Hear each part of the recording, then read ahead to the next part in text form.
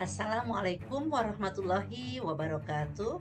Perkenalkan, nama saya Siti Mahriani Marsegi, Kepala Sekolah TK Kemala Bayangkari 36, Jalan Palasari, nomor 44, Kota Bandung.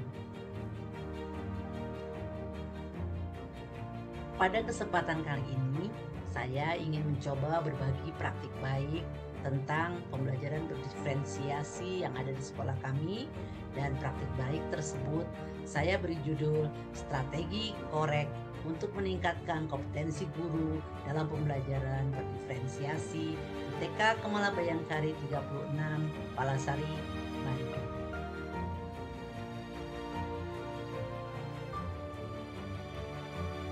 Dalam melaksanakan praktik baik di sekolah tentang pembelajaran berdiferensiasi, saya melihat bahwa ada empat masalah yang harus cepat-cepat dirubah dan dicarikan solusinya.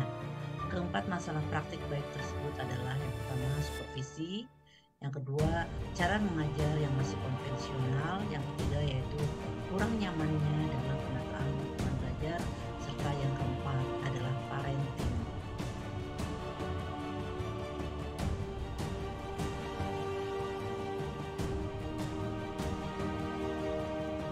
Dalam mengatasi masalah yang ada, saya melakukan dan mencoba uh, strategi serta langkah yang tentu akan dapat mengatasi masalah yang terjadi.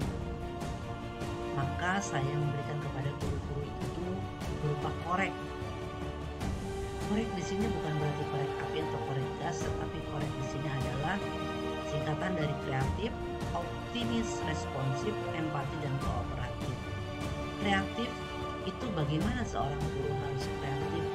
Uh, tentu mencari ide atau gagasan atau karya uh, dengan cara amati tiru modifikasi dalam hal apa? Tentu untuk memberikan pembelajaran terhadap anak-anak. Sebagai seorang guru juga harus optimis bagaimana dia mampu berubah dan harus memiliki harapan yang baik serta selalu berpikir positif jangan negatif thinking Guru juga harus responsif. Mereka tidak boleh masa bodoh dengan banyaknya perubahan yang terjadi di dunia pendidikan. Seperti misalnya guru itu harus menguasai IT, harus belajar bagaimana itu kurikulum, harus belajar bagaimana pembelajaran berdiferensiasi yang bisa diterapkan di sekolah. Bila ada guru yang memang kurang cepat dalam menguasai hal yang baru, tentu guru yang masih muda yang memang mungkin uh, lebih menguasai dalam hal apa pun tentu harus memiliki rasa empati kepada orang atau guru yang lebih senior misalnya. Dan bagaimana uh, ia berusaha mengajak rekan guru yang belum bisa untuk saling bekerja sama saling belajar bersama sehingga uh, kooperatif pun terjadi. Mereka saling membantu dan uh, bekerja sama demi mewujudkan hasil akhir dari capaian pembelajaran yang ingin dituju di sekolah tersebut. Ibu perlu diketahui apa sih pembelajaran berdiferensiasi? Yaitu pembelajaran yang berorientasi pada anak ya. Terus uh, kita memberikan ruang kepada anak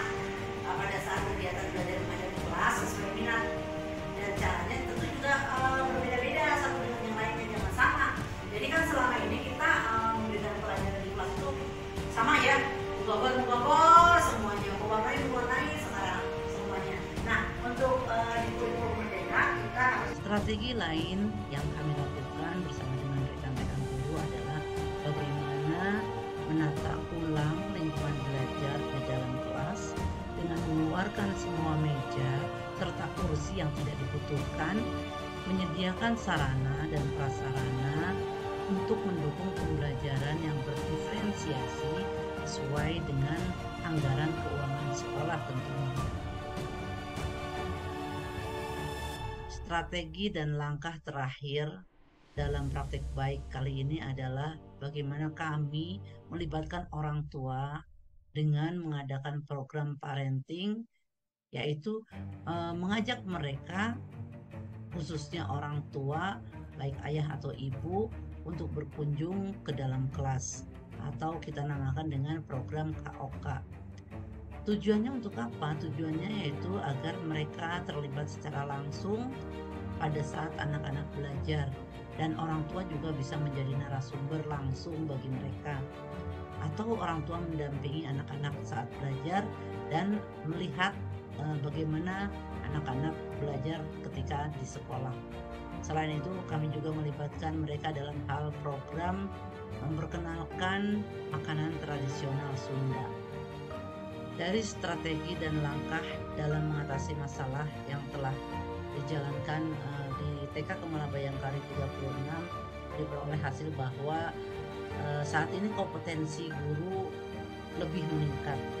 Pembelajaran secara konvensional sudah tergantikan dengan pembelajaran berdiferensiasi. Guru lebih siap dalam melaksanakan pembelajaran, mereka lebih menguasai pedagogi, etos kerjanya juga baik, pribadinya lebih ramah, lebih humble dan lebih care terhadap anak-anak dan orang tua. Begitu pula dari penataan lingkungan, uh, diperoleh bahwa anak-anak lebih senang dengan uh, penataan lingkungan yang ada saat ini. Mereka lebih leluasa, mereka lebih uh, bergerak dengan luas karena meja dan kursi sudah banyak yang dikeluarkan dan guru juga lebih uh, merdeka dalam mengajar karena mereka banyak berdiskusi dengan anak-anak dalam melaksanakan pembelajaran. Selain itu parenting juga berjalan, anak-anak merasa senang dan sangat antusias apalagi ketika program KOK orang tua bahagia karena dapat menikmati kebersamaan dengan anaknya di sekolah dan itu tentu merupakan momen yang sangat uh, langka bahkan mungkin terjadi hanya satu kali dalam seumur hidup dan itu tidak akan pernah dilupakan oleh anak-anak walaupun mereka nanti sudah besar. Faktor pendukung dari hasil praktek baik pembelajaran berdiferensiasi yang dilaksanakan di TK Kemala Bayangkari 36 yang pertama yaitu guru lebih open minded lebih terbuka wawasannya, lebih mau menerima hal-hal yang baru. Yang kedua, dukungan dan motivasi dari yayasan yang selalu diberikan baik itu berupa pelatihan ataupun webinar untuk peningkatan kompetensi guru dan kepala sekolah. Serta yang terakhir yaitu dukungan dari orang tua yang telah berpartisipasi aktif dalam mendukung semua program pembelajaran atau kegiatan yang ada di sekolah. Selain faktor pendukung, ada juga faktor penghambat dalam praktik baik pembelajaran berdiferensiasi yang telah kami laksanakan. Yang pertama yaitu adanya guru yang suka menunda-nunda pekerjaan dan akhirnya terlambat uh, dalam hal apa pun dari batas yang telah ditargetkan. Yang kedua, kesulitan uh, beberapa guru atau kami dalam hal menyatukan persepsi untuk persiapan mengajar dan mengerjakan administrasi yang ada. Yang ketiga yaitu masih perlunya inovasi, inisiatif, dan kreativitas dalam melakukan pembelajaran berdiferensiasi. Yang terakhir adalah bagaimanapun guru harus keluar dari zona nyaman. Mereka harus berani menghadapi apa pun tantangan yang ada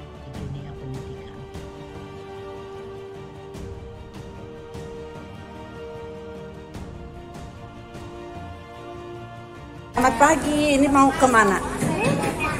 Ngapain ke bank?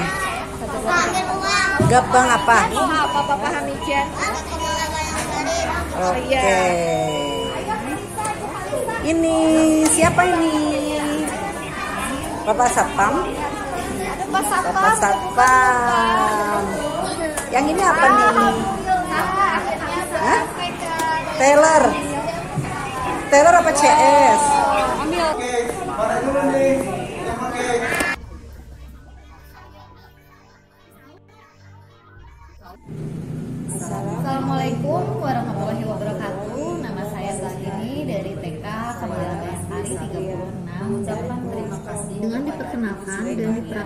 langsung di sekolah dalam kegiatan pembelajaran bersama Siti, pembelajaran yang berdiferensiasi sangatlah menyenangkan dan bermakna bagi di mana kebutuhan meminat anak pada kegiatan pembelajaran dan terfasilitasi dengan baik.